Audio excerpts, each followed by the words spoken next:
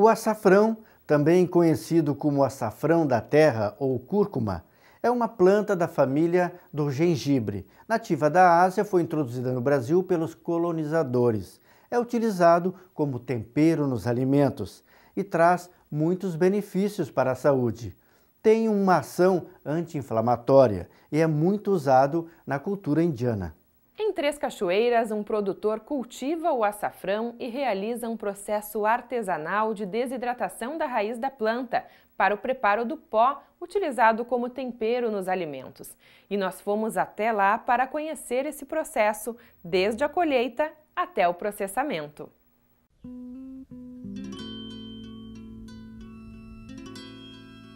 Em Três Cachoeiras, litoral norte do Rio Grande do Sul, em uma área de cerca de meio hectare, o produtor Ney cultiva o açafrão em consórcio com a produção de banana. Então eu tenho o consórcio do açafrão junto com as bananeiras e também eu vou consorciar agora, está quase concluindo, para criar galinhas junto, porque ela se adapta muito bem nesse ambiente. É que como a gente é orgânico, não usa produto químico, aí as galinhas têm essa função de limpar o solo e adubar a prestação bem devagarinho nas plantas e vão comendo os predadores, a broquinha que às vezes prejudica a bananeira, né? Então a galinha funciona muito bem dentro da, do cultivo orgânico. Há quatro anos, antes de conhecer os benefícios da raiz, Ney decidiu apostar no açafrão pela beleza das flores. A gente plantou ele porque a flor, na Índia se cultua muito a flor por causa do efeito medicinal da raiz.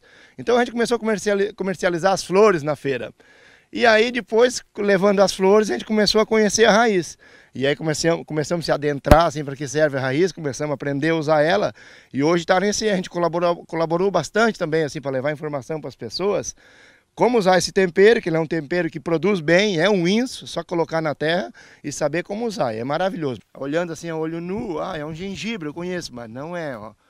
Ele é o açafrão da terra, ele é primo do gengibre, né? É um super anti-inflamatório, muito usado na cultura indiana, e é onde as pessoas lá, inclusive foi comentado aqui, ó, eles comem em média ao dia essa, essa raiz aqui, ó, que dá a média um dedo, eu sempre faço na, fe na feira lá, comento com as pessoas, só é um dedo ao dia, divide em três e come cru. Não vou comer aqui agora porque tem que lavar ele, mas depois vou mostrar para você. E o produtor nos mostra como funciona o processo de desidratação da planta, desde a colheita até chegar ao pó, utilizado como tempero. O processo de colheita é bem simples, nessa época já está meio que secando já, ó. A gente puxa aqui, ó. Mas não necessariamente também, pode abrir aqui, ó. ó abre aqui, ó. Agora é bom que a gente está no período chuvoso, já ficou mais macio também. Olha só aqui como produz, ó. E agora nós vamos levar aqui, ó. licencinha aqui. Batendo aqui, tranquilo, ó. Olha só, grudar aqui, ele é bem... É família unida. Olha só, aqui você vai abrindo aqui, ó, bem artesanal, vai colhendo, ó. Ó, e vamos lá, Sempre a gente colhendo, ele produz muito, né? E sobra alguma coisinha, ano que vem, se você vier aqui, tá a lavoura completa de novo. Essa área aqui já tem uns 10 anos e eu vou tirando sempre, vou colhendo e ela vai, vai, vai se, se renovando. E se tu não colher, a parte que está ficando mais adulta, ela vai secando, vai sumindo, vai vendo a, a, a raiz nova. Após a colheita, vem o processo de limpeza da raiz. Ney, agora a gente já acompanhou a colheita, então, e todo o processo da lavagem, né? Qual é o processo agora? Bom, aqui, como você falou, ele já está lavadinho, né? Agora a gente vai diminuindo ele, ó, assim, ó, para facilitar na desidratação. A gente diminui, seleciona um pouco aqui, ó, e depois a gente vai cortando ele aqui assim, ó. ó é bem artesanal, é um trabalho bem, é com amor a camiseta mesmo, até nós encher essa bandeja aqui, ó. Qual é o rendimento, mais ou menos? Ele rende bem pouco, ele rende aproximadamente 5%. Por isso que às vezes a gente tem que colher ele quando ele está bem maduro, quando já não tem mais as folhas. Porque é a época que ele está com bem menos umidade. Então aí ele, aproximadamente de 100 quilos, o rendimento é muito pequeno, de 100 quilos dá 5 quilos de pó só, é muito pouco rendimento. E é um trabalho bem artesanal, bem lento, tem que atender um público bem distinto a gente comercializa em feiras. O pó da cúrcuma, ele não são todos os feirantes, todos os ecologistas que se detêm a fazê-lo. Porque ele é um produto novo, como eu já falei, ele dá bastante trabalho de fazer. Então é difícil de achar pó de açafrão. Como é que a gente pode fazer a muda e quem assiste também, como é que pode cultivar o açafrão em casa? É simples, ele produz muito bem. Essa aqui é a mãe, ó, a raiz mãe. Se você enterrar ela agora, aqui no, nós estamos falando no, no, litoral, né? Em outubro, que é a época que de plantio. Você enterrar em, em outubro, agora você vai ter açafrão para o resto da vida. Ele produz muito bem. Essas peças menores, às vezes tem mais dificuldade em brotar, entendeu? Porque já é, já está são as partes que estão saindo. E essas peças assim, ó, que você consegue nas feiras, ó.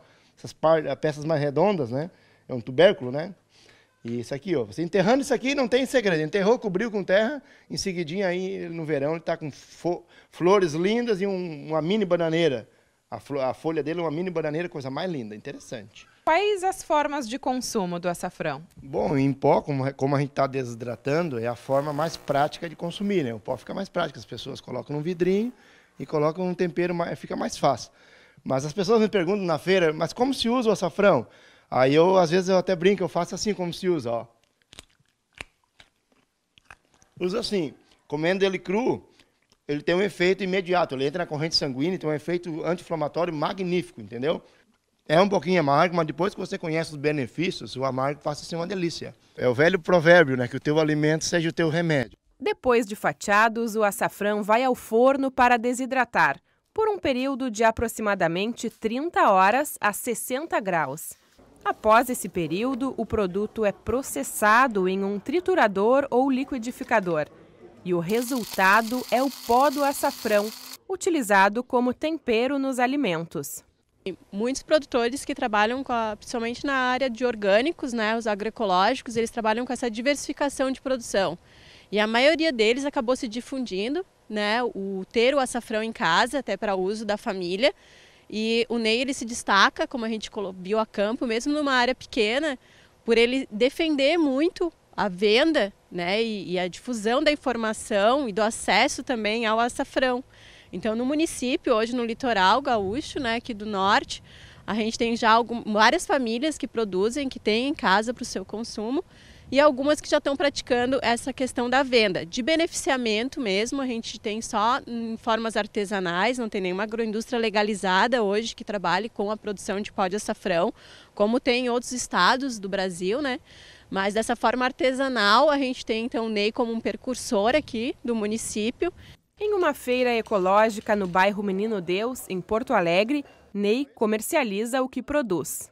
Aqui é onde desemboca o meu trabalho lá, né, em Morro Azul, Três Cachoeiras, desemboca o meu trabalho aqui na feira, onde as pessoas que conhecem também o produto, né, compram o açafrão e dão o resultado para a gente, né, do, do esforço lá e vem a realização financeira aqui.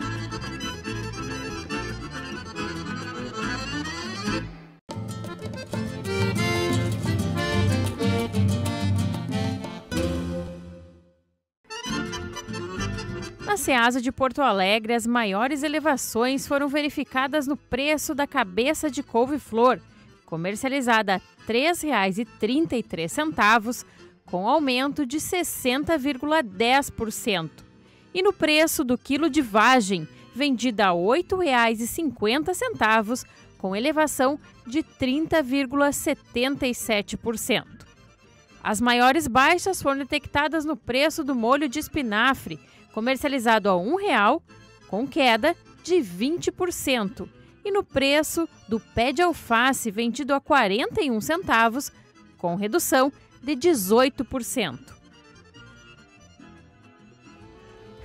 No próximo bloco tem a nossa receita da semana. Depois de conhecer todo o processo de produção do açafrão, vamos até o Recanto dos Boff para aprender como utilizar esse poderoso tempero em um pão aromático de açafrão.